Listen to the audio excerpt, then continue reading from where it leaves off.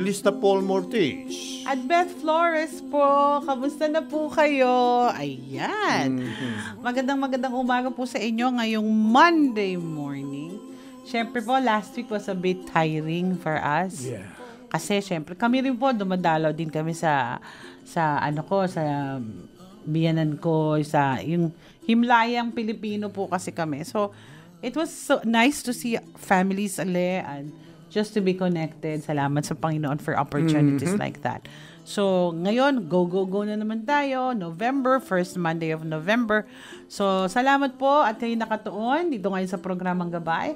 Wala po tayo sa 702 DZS or maaring pinapanood nyo kami ngayon sa Facebook live streaming wherever you are in the world. Salamat sa Panginoon for that. At patuloy tayo na pinapakinggan din sa Visayas and Mindanao sa pamamagitan naman po ng DYVS mula sa Bacolod. So maraming maraming pong salamat. Dalangin natin sa Panginoon, di ba?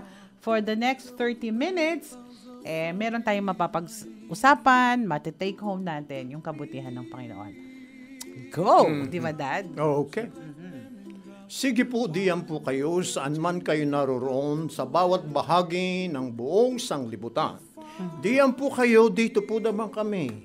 Palatuntunang gabay, sumasapit po sa inyong pakikinig sa ganitong oras, ganitong himpilan ng radyo DZAS 702 ng Fires Broadcasting Company nang gagaling po sa taluktok ng One Corporate Center Ortigas. Araw-araw po yan at naglalayong kay hatdan ng isang uh, bagong kaalaman at maka, makalangit na mga awitin.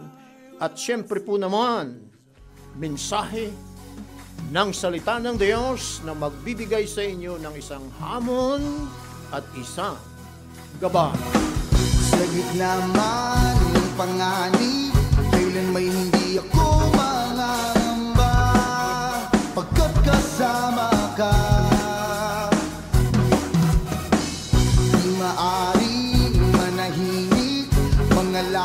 sabik na sumamba Papupurihan ka.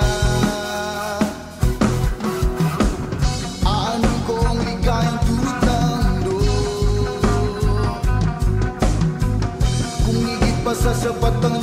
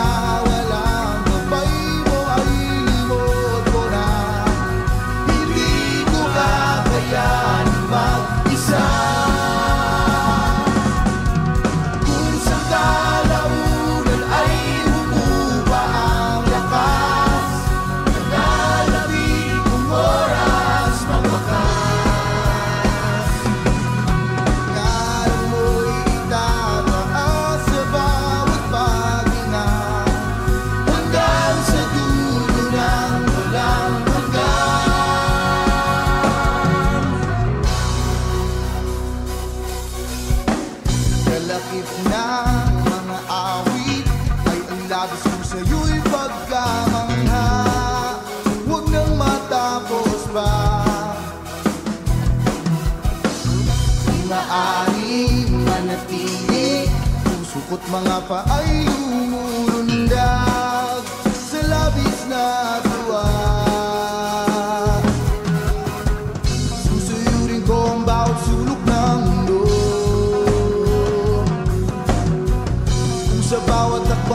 papalapit dun sa pinto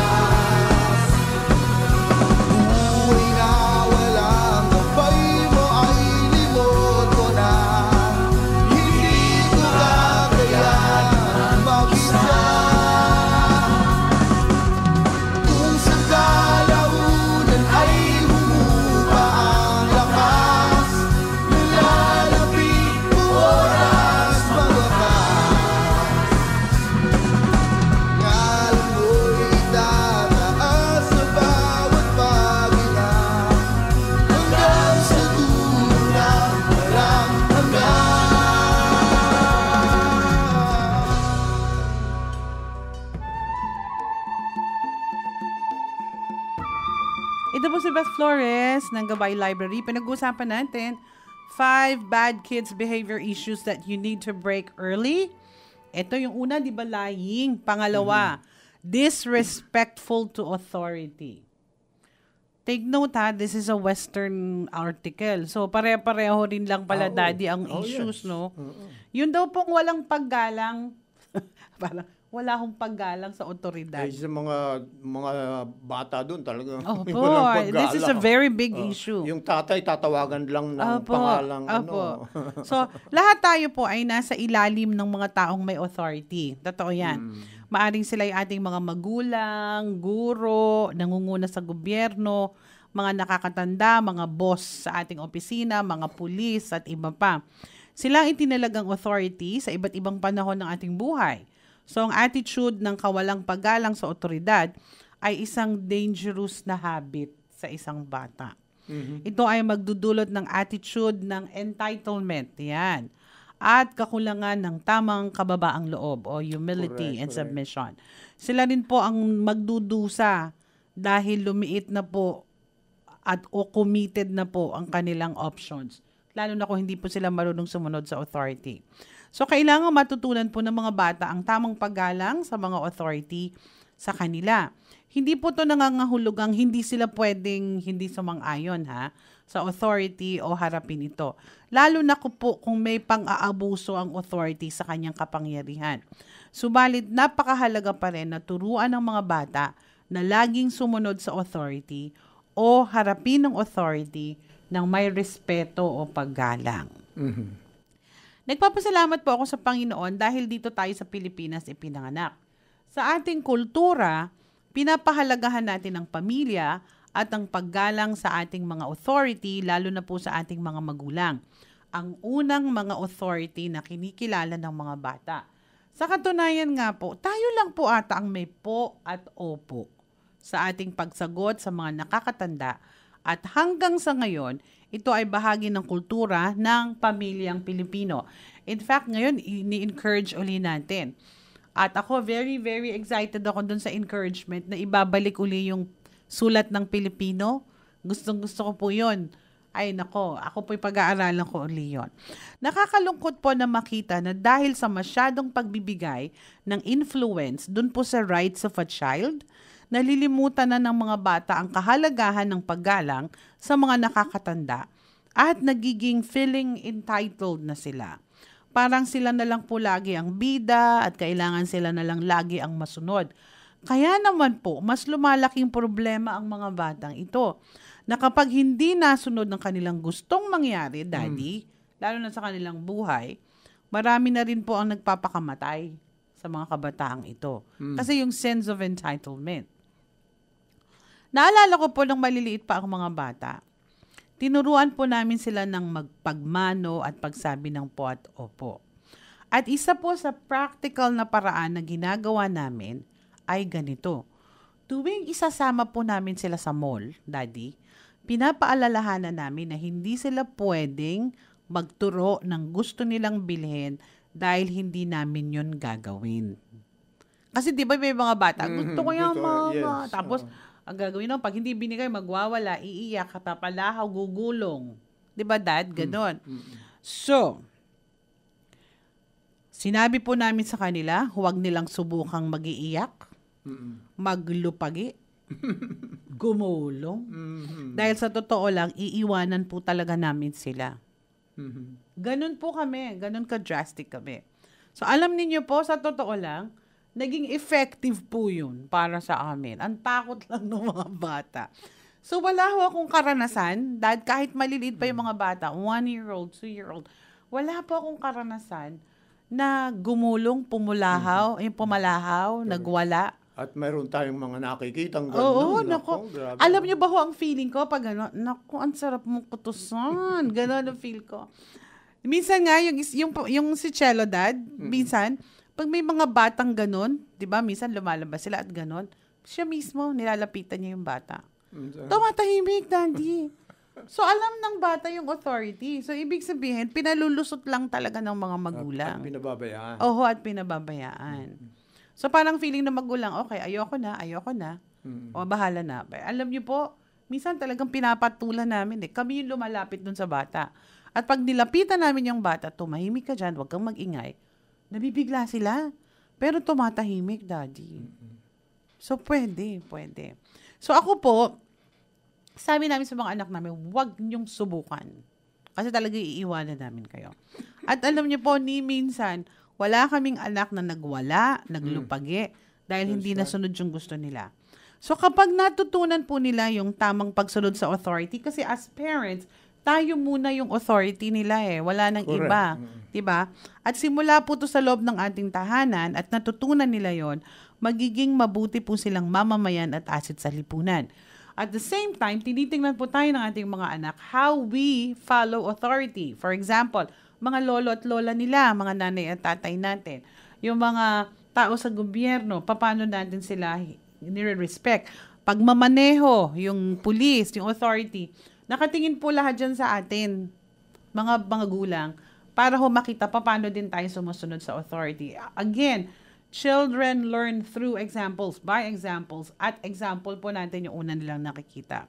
So, mga kaibigan, mga magulang, kung tayo pong mga magulang, ang unang ehemplo na sumusunod sa authority, sila din po ay susunod sa authority.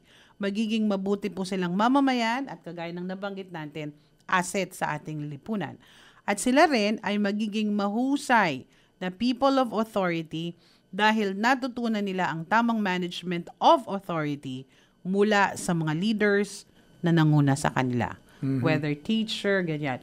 Kaya po yung issue sa PMA, ang laking question ko po dyan. Ang laki-laking question ko. Grabe, ano? So, ngayon, mga parents, sabi ko nga ganon, mga parents, tayo muna ang maging example ng good authority over our children so that our children would under, will understand the value of authority. Ito po si Beth Flores ng Gabay Library. Patuloy po tayo sa ating pagbubulay-bulay sa salita ng Diyos. Ba- bakit?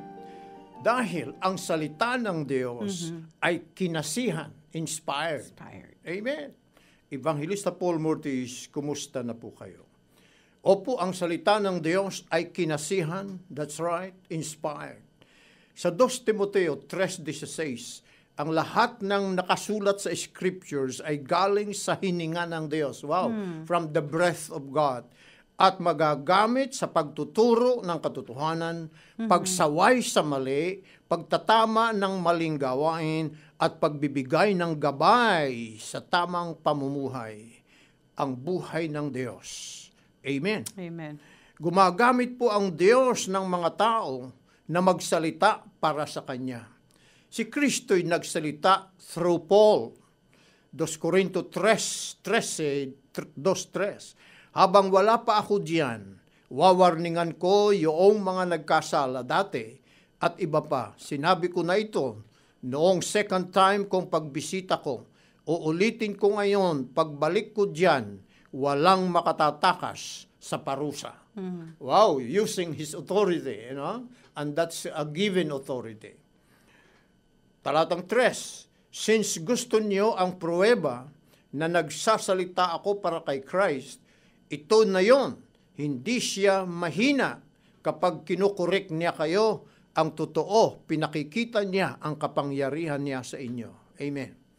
Ang Diyos personal ang nag-ukit sa dalawang stone tablets sa Old Testament. Sa Exodo 31.18, matapos sabihin ni Yahweh kay Moises ang lahat ng ito sa bundok ng Sinai, ibinigay niya rito ang dalawang tapyas na bato at kinasusulatan ng kautusan na siya mismo ang sumulat. Written by the hands of God, yung sampung kautusan. Ang Diyos din ang naglagay sa salita ng Diyos sa bibig ni Jeremiah, Jeremiah 1.9, pagkatapos in, iniunat ni Yahweh ang kanyang mga, mga bisig at hinipo ang kanyang mga labi at sinabi, Hayan, ibinigay ko na sa iyo ang dapat mong sabihin. So si Yahweh ang nagbigay ng sasabihin ng lingkod niya.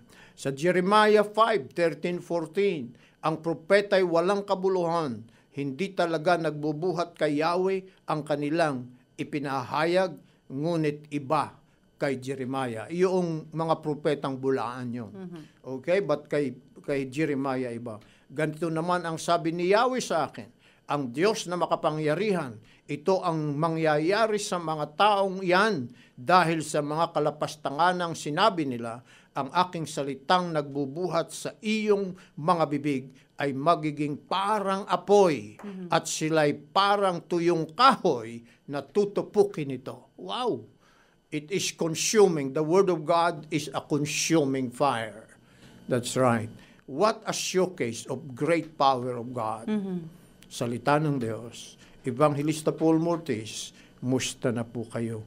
At ito pong salita ng Diyos ang siya nating pinag-aaralan sa palatuntunang gabay kung kaya't makapangyarihang salita. At maraming mga buhay na natangkuna, na bago ang buhay, binabanal, datapwat kung hindi pa kayo, kapatid at kaibigan, abay, panahon na dahil in times na ngayon. Di ba na? Opo. Ay, sige. Ikaw talaga, daddy, ha? Laging ano ho yan eh. Ah, di ba, anak? Okay. Ay, kaya nga tayo magka-partner eh. Kaya nga po sa ano po sa atin pong pagsunod sa Panginoon. Ano po again, ang ating pong kaugnayan sa Panginoon always begins with the Lord Jesus Christ. Correct. Doon po sa book ni Jeremiah, sabi niya Jeremiah 29:11, For I know the plans I have for you, declares the Lord, plans to prosper you and not to harm you, to give you a future and a hope. Yan pong promise na yan only begins kapag tayo ay nakasuko ang ating buhay sa Panginoon. Yes. Kasi- Connected tayo. Connected tayo sa Panginoong Jesus. Kasi hindi matutupad yung planong yan kung hindi tayo connected sa Kanya. So, mga kaibigan, dapat ang sigurado, konektado muna tayo sa Dapat- Panginoon. Okay. Yeah, bago gumawa ang Diyos, dapat connected ka. At saka bago, bago po tayo mag-claim ng mga promises. Correct. Di ba? Oo, oo, oo. Ano i-claim natin kung wala tayong relationship? Tama. Ano yung i-claim natin kung hindi natin kilala ang dakilang Diyos bilang ating Heavenly Father? Mm. So, anong makiklaim natin? Wala tayong makiklaim kasi wala tayong connection, wala tayong ugnayan, wala tayo sa possession. Yeah, the, the disconnected tayo dahil sa Opo, kasalanan. kasalanan, Eh, for yes. all have sinned and come Opo, short. totoo no? po yun. Yes. So, when you go back to the Lord, dun Mm. sa way ng Panginoon, you have to ask forgiveness, Yes. balik sa Panginoon, let our lives be transformed By the power by of the God. power of God. And we live righteously, walk in righteousness, then all these things, di ba? Ang ganda na eh, shall be added unto you. That's right. Yun yung promise ni Lord. Mga kaibigan. Amen. Kaya nga sabi niya, seek ye first the kingdom. Okay, And be his- part. oh, be and- part of the kingdom. And His and right- His righteousness. Yun yung yes, kanyang yeah, citizenship. yun yung life. Opo. And all these Then things shall all be added these things. you. Eh, ang hilig-hilig ng mga tao. Gusto na yung all these things. Ay, ba, eh, hindi yung Hindi seek first the kingdom. Opo. Oo. Ay, inuuna kasi ng tao yung pagpapala eh. Opo. Eh, hindi nila alam. May linya yun. Opo. Pag hindi ka connected, aba, hindi dadalo yung pagpapala. Di ba po? Ah, Di ba po ngayon, ang hirap-hirap mag-connect sa telepono? Mm, bakit? Kasi may bago ng numbers. May mga Oh. 8 digits na po ang numbers. Eh, nawindang po kami kasi nung um, kailan ba siya nag-start? Oh, basta ngayon, nung October po, nag-start yun. So, yung mga hindi nakakaalam, Hindi nakikinig. Opo, hindi nakikinig, hindi alam. Eh, ako po, I, I pay my bills sa Metrobank through Metrophone Banking. Mm. So, bago yung number. Yung dati lang number, hindi yon sumasagot. You have to ganyan. So, isip kami ni Maymay. Isang dagdag lang yatang number. Eh, hindi dad. Yun kasi, yun, ibang number yun sa Ah, Metrophone. Okay. So, sabi namin, hanap, hanap, hanap kami. Paano namin gagawin? Naalala namin yung isang member natin ng church, si Joe Isidro. Tawagan mo si Joe. Text namin. Joe. O, di ba? So, siya yung aming insider. Di ba, Dad? So, Joe, paano namin malalaman yung number? Ano nang bagong number? Yung supposedly 5,800 o 5,800. Ano na yung number? Tapos, after, no, sumagot siya, oh, eto na yung number, try nyo to. So, tama-tama. So, nakapasok na kami. I was able to pay my bills. Kasi kung hindi ko po mabayaran, ang mahal kaya ng charge noon Oo. pag hindi. So, anyway, my point is, bago nangyari yon may mga informations ang PLDT, Oo. o lahat, may information bago pa lumabas sa TV yon. Opo, one month pa lang ata sinasabi na, no, eto, you should add this number, you should add 8. Sa amin ganon. If you're a PLDT user, you should add 8 para magkaroon ng 8-digit So, number. ibig sabihin, lahat ng number ninyo before ay cut off. Ah, Hindi po, hindi. Oh, walang Ah, oh, kasi kung wala yung connect na number 8, correct, 'di ba? Ganon din sa Panginoon. Yeah. po? Oh, because of sin, we Opo, are disconnected. disconnected. Kung wala yung connecting number, ah. hindi ka makakagamit, hindi ka makaka-call, hindi ka lahat. Ay, sa Diyos ay si Jesus ang connecting Ah, number. Yes, si Jesus ang ating connection. Ah. Eh, paano mo, bakit sasabihin mo, ikiklaim mo lahat ng benefits kung wala ka namang connect? Ay, di disconnect ka. Di ba? Correct. Eh, Tapos magre-rebelde ka. yun. Logical yon. Connect muna. Believe on the Lord Jesus Christ. And you will be saved. Amen. Di ba? For God so loved the world, yun ang pinaka, pinaka-puso eh, that He gave His only begotten Son, that Hmm. Correct. whoso believe in Him should not perish, That's right. but have everlasting life. That's right. oh, Jesus Christ pa rin. Amen. Kaya connect na kung hindi ka pa connected. Opo. Aba. Eh, sabi ng Panginoon, malapit na siyang Bumalik. bumalik. Oh. Mga signs, kitang-kita na. Yes, that. Oh, yeah. You were Oh, there was a you were reading the other time. You were reading on Matthew 24. Basahin niyo po yung Matthew 24. Basahin niyo isa-isa. Check nyo. Ginawa ko ng reality check siya. eh. Mm-hmm. Ganito, sin is becoming rampant. Ganyan, That's ganyan. right. Oo. Tapos, inisa-isa ko po yun. Aba, wars and rumors of wars, Mm-hmm. earthquakes. I-checklist nyo. Correct. Malapit na mga, malapit mga na. Mm. Hudyo ngayon ay naliligtas na. Opo. So, malapit na pong bumalik ang Panginoon, mga kaibigan. That's right. So, it's a high time for us to really be sure of our connection. Hindi tayo disconnected, kundi connected tayo. Because, tandaan niyo po yan, Christianity is not religion. It's a matter of relationship. Po And yun. when you are connected, Yes. all these things shall, be, added, unto you. Amen. Amen. So, pray na po tayo. Panginoon, maraming maraming pong salamat sa aming pong pinag-uusapan. Thank you, thank you, Lord, Yes. for such realities as this. Panginoon, sabi nga, it takes faith to believe in you, Yes. faith to believe your word, faith to believe in what you plan and intend to do in our lives. Yes, Lord. So, Lord, it takes faith. And faith comes from hearing your word. So, Lord, salamat po doon. Salamat po sa iyong salita. Salamat sa ginawa ng Panginoong Jesus doon sa krus ng Kalbaryo para maintindihan namin ang dakilang pag-ibig ng Diyos sa amin. Lord, this morning, we also thank you for our friends who are celebrating this special day. Si Jason Huerta de Guzman, Thank you, Lord, for his life. Thank you din po sa buhay nila Kuya Roy, Ate Lynn Fabelia. Salamat po, Panginoon, sa buhay ng mag-asawang ito. Sila po ay naging napakalaking influence sa aking buhay in terms of worship. Papasalamat po ako sa training na ginawa nila noon sa Windsong when I was starting in my music. Salamat po, Panginoon, kahit po sa ah, impact niya sa buhay ng bawat isa sa amin who had been involved with Windsong. Lord, I pray that you continue to bless them and use them mightily, lalo na po sa worship. Lord, ganun din kay Joshua Benaventura, kay Angeline Barca, salamat po sa kanilang mga buhay, kay Emeline Abrigo, kay Leonardo Venancio, kay Ramon Domingo, kay Maria Cecilia Abeto. Lord, sa pangalang mga nabanggit, may your grace be upon them and may your favor be upon them every day. Not only today, but every day. At Lord, sa mga kaibigan namin na who are probably celebrating this day as well, Father, I pray that you bless them and may your life and your light shine upon them. Marami pong salamat.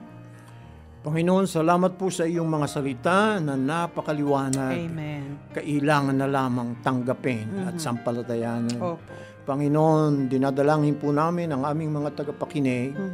Huwag po nilang baliwalain ang iyong mga salita dahil ang salita mo ay totoo. At kung ito'y binaliwala, kami ang mapapahamak. But Lord, kayo po'y patuloy na nag-aanyaya. Lumapit kayo. Come unto me, all ye that labor and are heavy laden, and I will give you rest.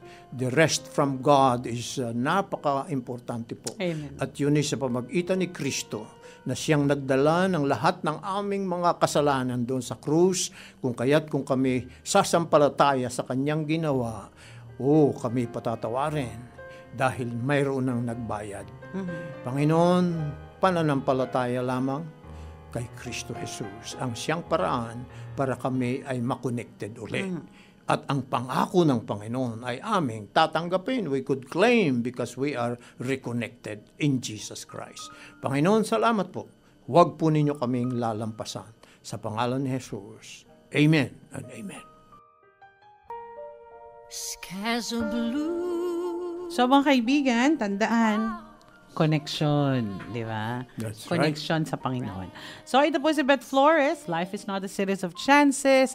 It is a series of choices.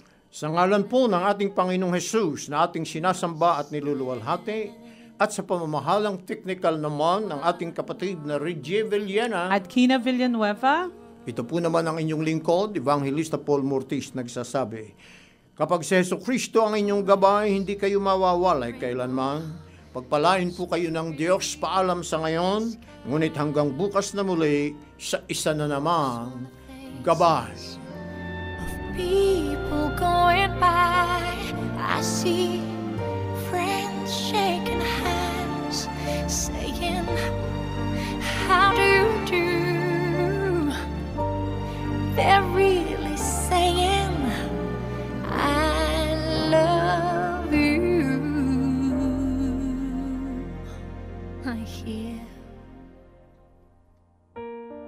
babies crying. I've watched them grow. They learn much more than I ever know. And I think to myself, what